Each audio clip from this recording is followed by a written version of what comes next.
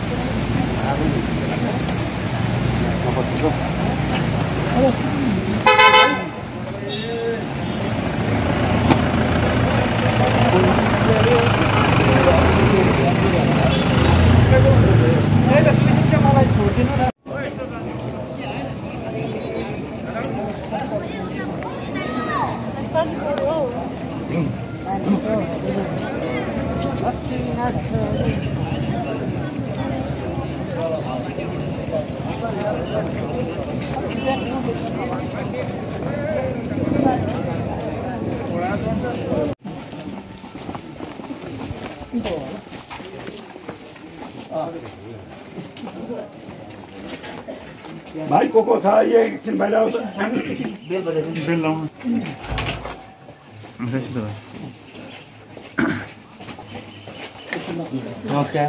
Last time पनि के भयो भने हामी आएको थियौँ विधायकजी हुनुहुन्थ्यो। विधायकजीकोमा उत्तर पनि छैन उत्तर दिने ऊ पनि छैन होइन? तर उहाँले अब किन त्यो गर्ने? सांसद महोदय डाइरेक्ट आउँदा भयो या उहाँको उत्तर कसैलाई पठाइदिनु भयो? हामीले दिएपछि पनि आज हेर्नुहोस् एक हप्ता बित्यो।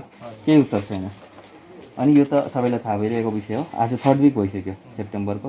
वार्ता फर्स्ट विकमा हुनु थियो अगस्तकै सेकेन्ड विकमा आउनु थियो चिठी आएको छैन। गुनासो त्यही छ अलिकति सांसद महोदयले कन्भे गरिदिनुहोस् न। ल।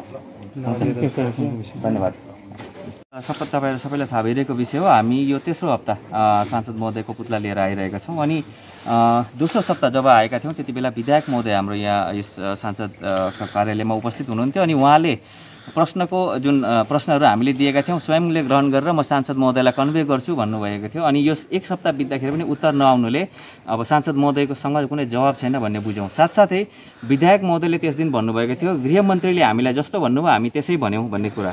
यसले पनि के बुझाउँछ भने गृहमन्त्रीजीले नै हामीसँग एउटा ढाँटको राजनीति गरिरहेको र हामीलाई पटक पटक आश्वासन मात्र दिएर त्यसमा कुनै ठोस कार्य नगरेको बुझिरहेका छौँ। अनि विधा हाम्रो गृहमन्त्रीजीकै हामी पुतला पनि निकाल्नेवाला थियौँ तर अब हामीले पूर्व निर्धारित कार्यक्रम अनुसार सेप्टेम्बर महिनासम्म चाहिँ हामी समय दिउँ भनेर अलिकति रिल्याक्सेसन दिएको।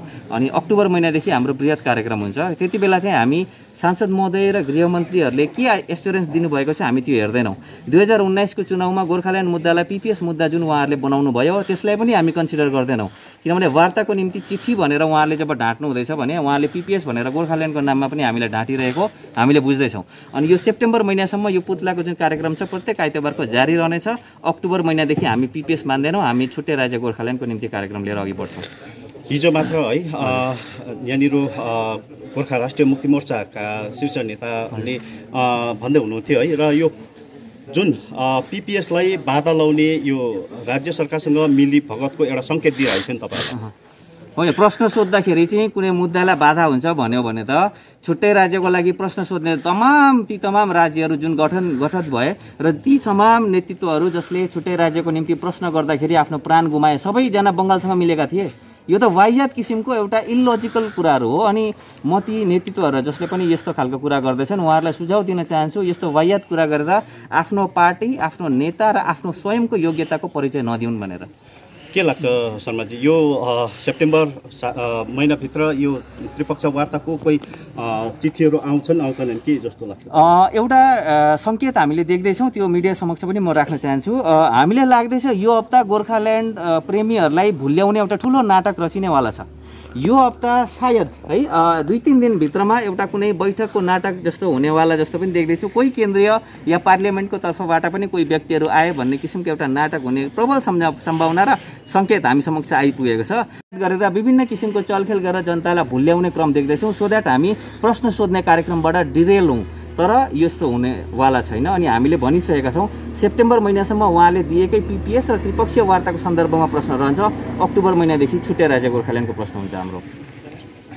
धन्यवाद।